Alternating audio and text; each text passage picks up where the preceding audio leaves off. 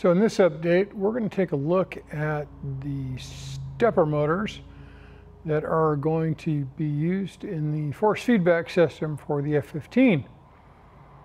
So let's get on that, shall we? I'm going to go ahead and start with the stepper motors, like I said. And that monster is one of the drives for the force feedback system. As you can see, it's not small. Um, the motor is overall about 110 millimeters long and it looks to be 85 millimeters square. It's a standard, I believe, NEMA 34 form factor. Uh, this is the roll servo, the roll stepper. Um, I believe it was because of how it's built, it is in fact a servo motor. And the part of the control electronics is back here. Um, this is the roll motor.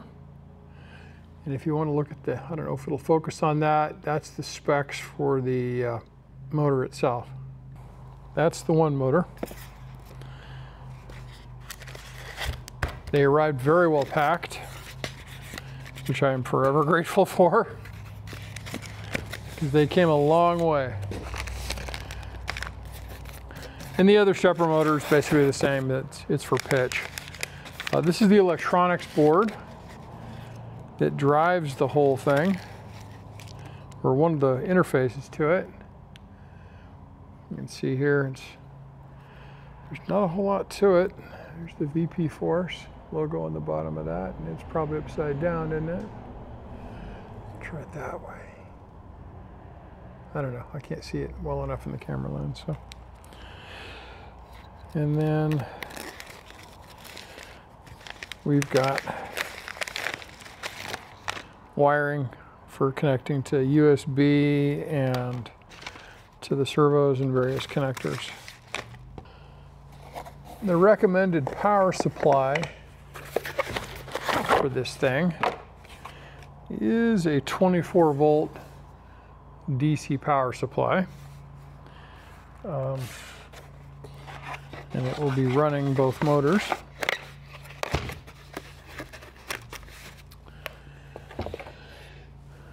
I think I talked about earlier or in the previous update about the system that I was going to, to need to build in order to drive this uh, force feedback system. And I wanted to give you a kind of a, an eyeball as to what that looked like. This is one of the drive gears. And uh, when it's set up, we'll have a thing like so, or in this arrangement, and there will be another one of these uh, sandwiched to it. And this is just a, a, sample I made, but there's no mounting holes or anything, obviously. Uh, but one face of it will be for the belt, okay? And then the other side will have an, another belt on it that will connect into the flight controls and a couple of turnarounds. Uh, and that's how that is going to interface in. And with that being said, um, let's go take a look at where all this is going to go in the F-15. Okay, this is the avionics bay where I'm going to be mounting the motors. And the reason that this is my choice for the mounting of those motors is because this is where the flight controls are coming through the cockpit floor. If you look up right here, this right here is the pitch, or not pitch, it's the roll control. And over here is pitch, okay? And what I'm going to do is mount plates here, one here and one here, okay? And that's where the stepper motors are going to be mounted. And up in this area right here,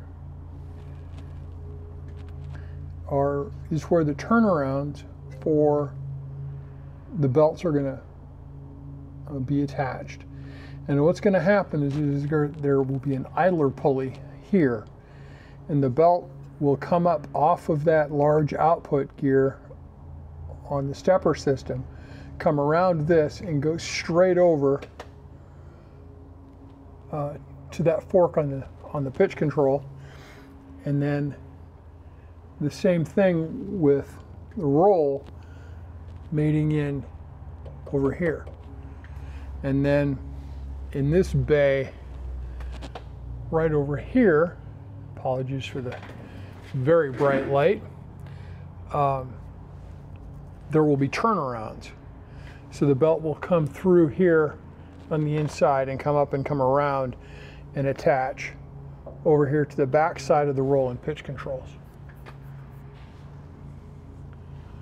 So my task right now is to obtain a 3D scan of these areas in order to build good models uh, for how it's all going to get rigged together. So I'm going to go ahead and get the camera set up so it can kind of watch what I'm doing and hopefully it'll be interesting. Okay, now with some tracking dots I think probably help me.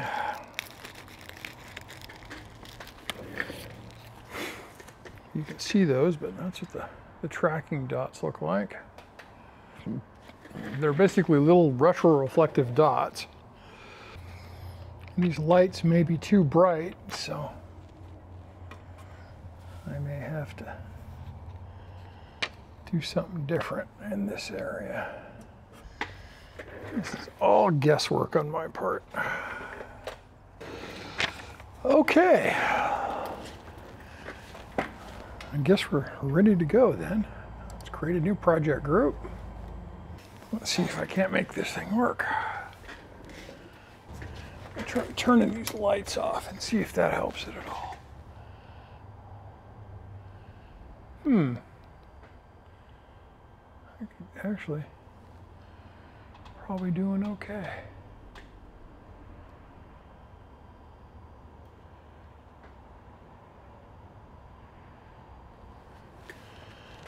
slightly reddish in the camera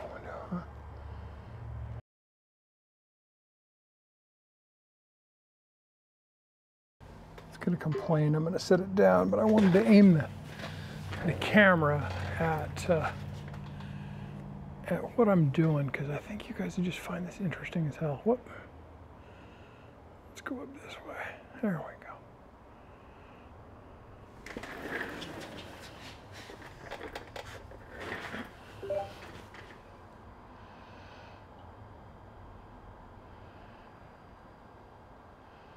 And the idea is to keep it in that green area in the side. It's catching the features I think I need it to catch, which makes me happy. And the tracking dots are helping it do what it needs to do.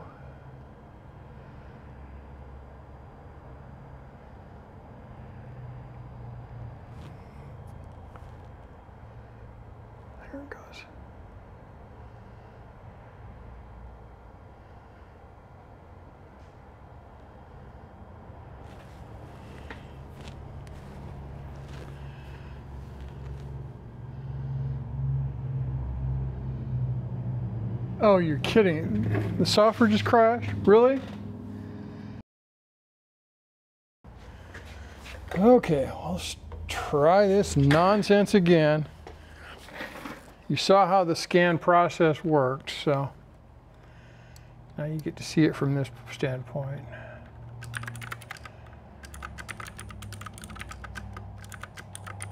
Okay, piece of junk. Let's try this again.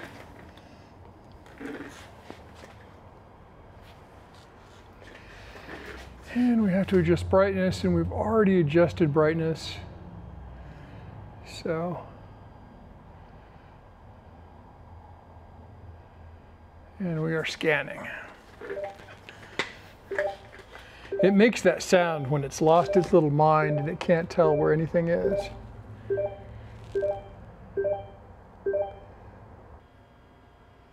This is not easy. You're gonna have to add some more tracking objects, I think, or tracking dots on the inside in the ceiling to be able to catch this stuff. It's like you get a dot and you get a dot and you get a dot. Everybody gets a tracking dot.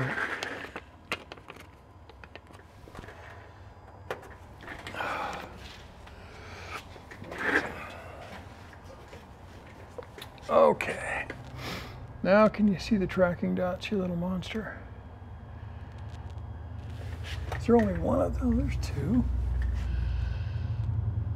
There you go. See what you need to see. Figure your shit out. I'm not gonna lie, that's really kind of cool.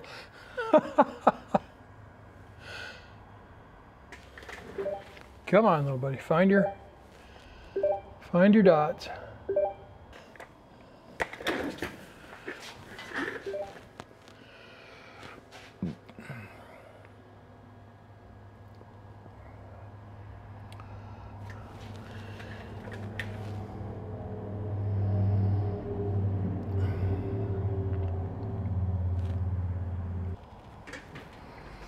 Well, sit it down, take a look at it.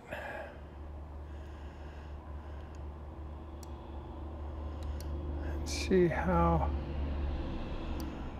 I'm doing here.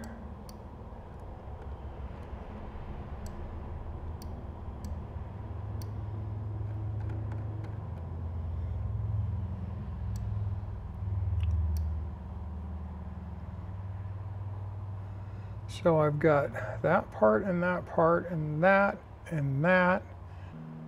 And I got that surface. And that's enough because I can put a plane on that in Fusion and get it to work.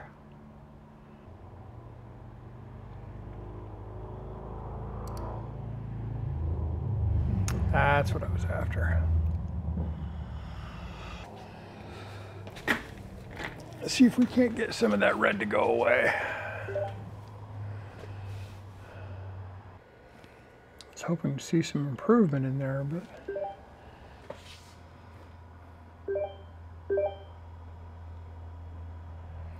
It annoys me that it loses tracking when I can see in the camera window like a dozen marker dots.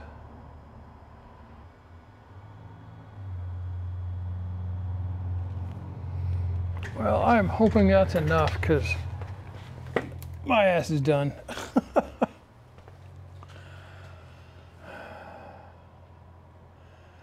Let's go ahead and pause the scan.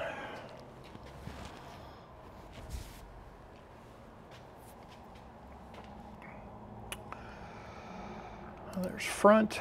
Um, yeah, that's really wrong. That's the back. That's the back side of it.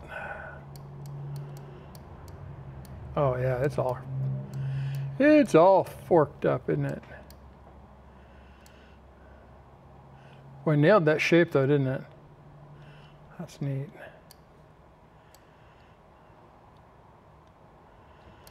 Okay.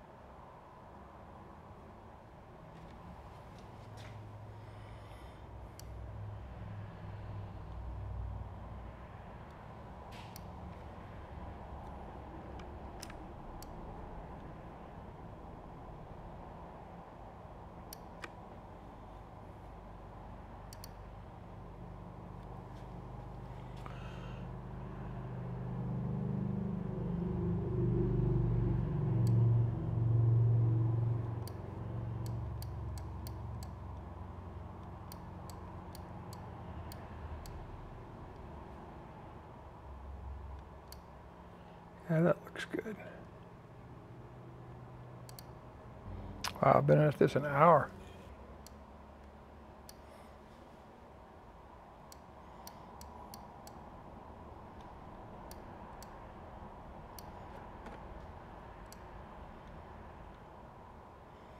Got more bits. Cool. Ugh, what a mess. Okay, can I orient this thing?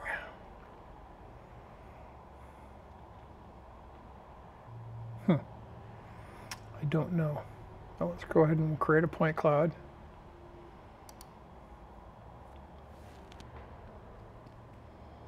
Oh, you're kidding me.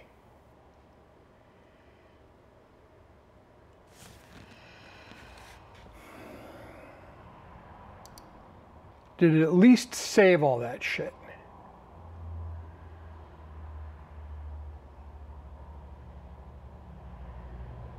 Says release candidate. Probably shouldn't have been.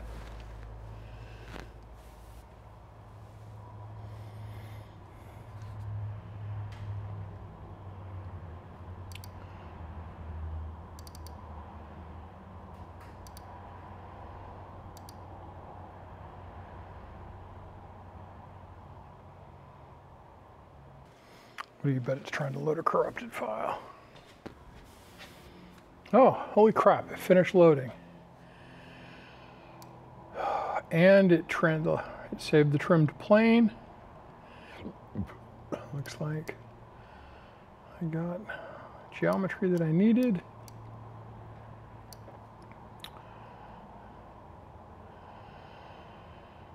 Let's try generate point clouds again.